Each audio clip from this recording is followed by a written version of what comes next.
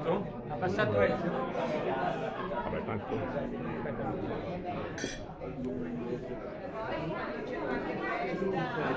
Ok, allora scusate solo un secondo, terminate i dolci.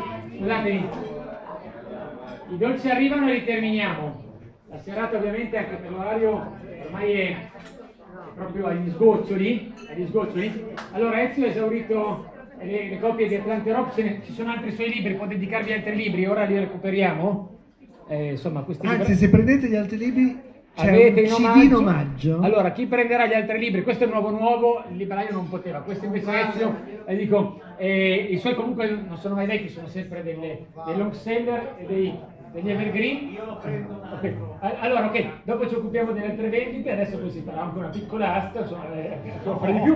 Allora, per terminare, abbiamo terminato, terminate pure il dolce, grazie, grazie al pubblico di Mangia come scrivi, buon Natale, buon 2017, è sempre bellissimo avervi con noi, non bello, bellissimo, lui ha detto che non è bravo, bravissimo, per cui con voi è bellissimo, e l'ultima cosa, lei vabbè, è immensa, eh, cioè, tutte le sere... Tutte le sere ti vogliamo qua con noi, cioè i giovedì, un giovedì al mese, anche vabbè, giovedì ehm, 19 di gennaio abbiamo Nicola Ghiardi, Edwin Roberts, Enzo Gentile. Però ehm, a febbraio abbiamo Luzzatto Fegiz, che per la prima volta in vita sua non va a Sanremo, viene al Garibaldi di Cantù e parlerà della sua vita, odia i talent show, però ha No, tante no, sette. si chiama, siccome sono molto responsabile Dimmi, dimmi, perché è nella mia collana, dimmi, eh. così come il libro di Gentile. Sì, Si chiama Troppe Z nel cognome.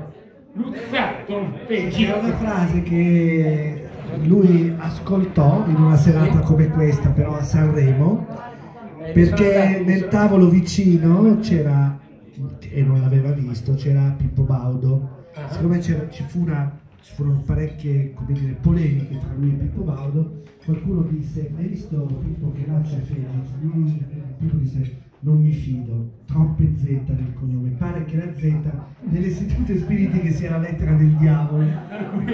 Comunque la prefazione, del, a questo la prefazione del libro l'ha fatta Pippo Baudo. Ah, vedi, vedi che alla fine so. E ad aprile Aldo Pedron con eh, Good Vibrations e poi a maggio chiudiamo con Gaber e Brasselli interpretati da Patrucco, per cui insomma tanta musica anche nel 2017. Ancora grazie, Brunella Boschetti, Enzo Guaitamacchi, grazie a tutti.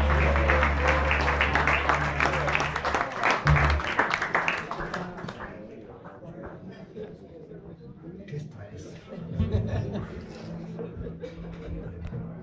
Poi fischi, eh, stai attento. Sei tu. Oh, no, sono io.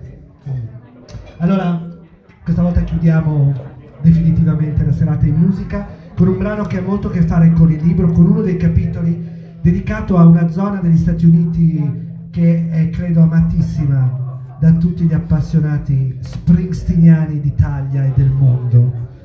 Questa zona è la costa del New Jersey, era in particolare questa cittadina che si chiama Asbury Park, dove Bruce Springsteen si è fatto le ossa, dove ha stabilito tanti dei suoi famosi record suonando innumerevoli vo- volte in un localino che si chiama Stone Pony. E questa canzone fu dedicata alla sua città perché a cavallo tra la fine degli anni 90 e i primi anni 2000 tutta quella zona cadde un po' in disgrazia e quindi la sua città che lui ricordava così bella, un, centro balneare come tutta la costa del Jersey, è diventata una città in rovine.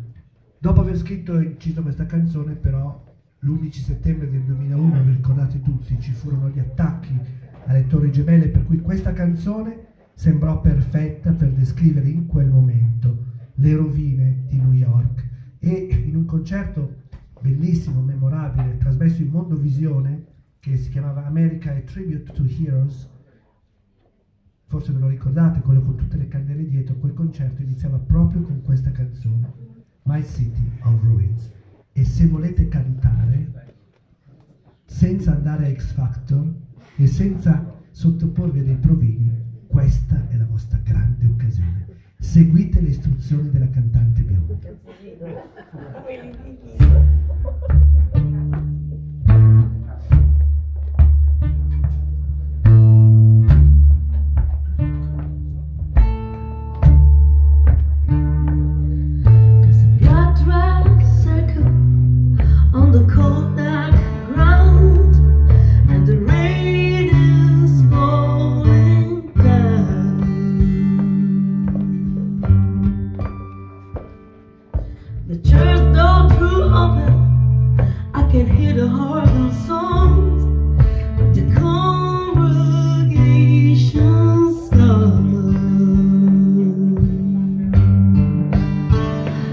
city of a room.